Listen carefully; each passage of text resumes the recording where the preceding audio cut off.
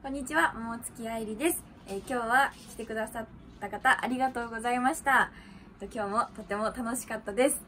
えー来月も、えーまた、リリーさんの小札やらせてもらうので、その時は来てくれたら嬉しいです。ありがとうございました。バイバーイ。